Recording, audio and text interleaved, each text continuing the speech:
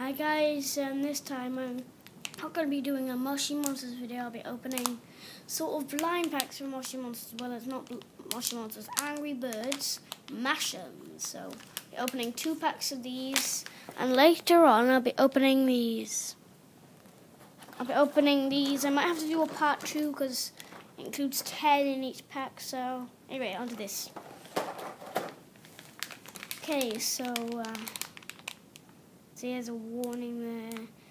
One mystery, so it says one mystery character inside. You can squish them and twist them. Collect all six. Clean mash, clean your Mash'ems with just warm water.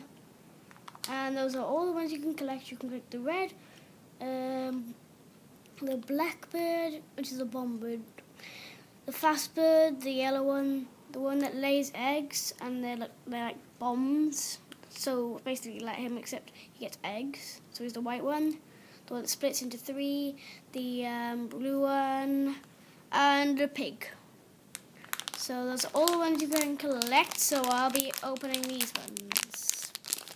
Okay.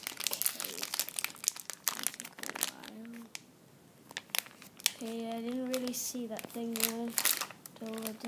Oh, which one do we have? Have a big one of these ones. We have, okay, let's see. We have the um, blue one. Ah, look. Ah, la, la, la.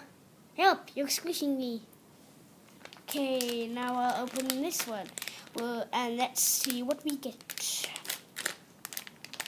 Okay. The only reason I'm doing the Moshi Monster video is because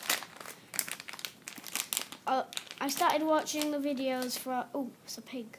Started watching the videos when I was when I was still seven, which I which is the age I am now.